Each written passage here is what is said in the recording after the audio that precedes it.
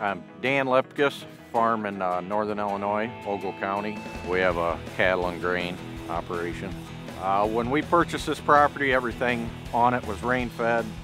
Uh, it was a poor piece of property as far as uh, productivity because of the sandy soils. People told me that you, if you buy that, you're going to go broke because you can't raise a crop on it. Three years out of five, you wouldn't get much of a crop. One year out of five, you would get a good crop, and the other one out of five, it was kind of mediocre. So it was a gamble every year, and we needed to find a way to put water on it. Because of the lay of the land, the soil type that he had, and you know the choppiness and the small, odd-shaped fields that he had, uh, drip really was a good fit for it. With drip irrigation, we're able to take out the variableness of yield that's caused by um, adverse weather, infrequent rain events, and we're really able to add a lot of stability to their yield and to their revenue stream. I'm sure plenty of people thought we were crazy, but at, as the season went on and they could see how green and lush the crop was, I think we made believers out of a lot of people. And a believer out of me because it was my first year.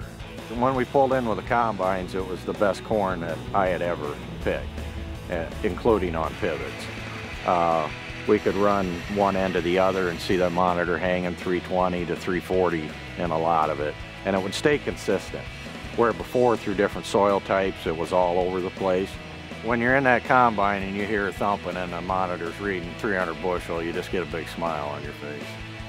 In the rain-fed market, irrigation by itself won't be a good investment, but when you add the ability to spoon feed nutrients, it brings a new level of yields to the farmer and really boost the, the, the profitability on the farm. We monitored the crop very close with tissue sampling this year. So when the crop was hungry, we fed it. And it's a, we could do it weekly and we could do it timely. We could, we could use our nitrogen management better and stretch it out later in the season to maximize our yield and maximize the efficiency of the nitrogen.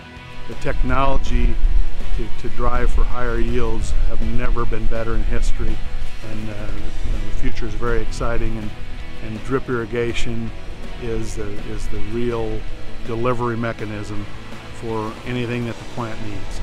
We can outproduce the best ground in this area with some of the poorest soils with Netafim drip irrigation.